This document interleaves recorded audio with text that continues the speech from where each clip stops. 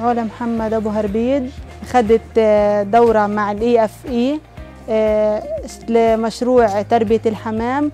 أول شيء كان بسيط استمر من الدعم من مؤسسة ال IFE وتطور مشروعي لأكبر. المشروع كان مهم لي كثير أنا كعلا نفسيتي المشروع مهم لي. وفخورة بحالي لأني صار الناس تنظر لي بنظرة إنه بتعرف تربي حمام شاطرة. بصيروا يسألوني بالسعر المهم الح- الحمد لله مهم. يعني بصرف على الدار منه. الجوز يعني بكفي إنه يجيب مصدر رزق للدار أكلة. آه، كسوة لأخواتي في مدرسة. بتمنى كل بنت تخش مؤسسة اللي في تضلها مستمرة لأن إن شاء الله حتنبسط.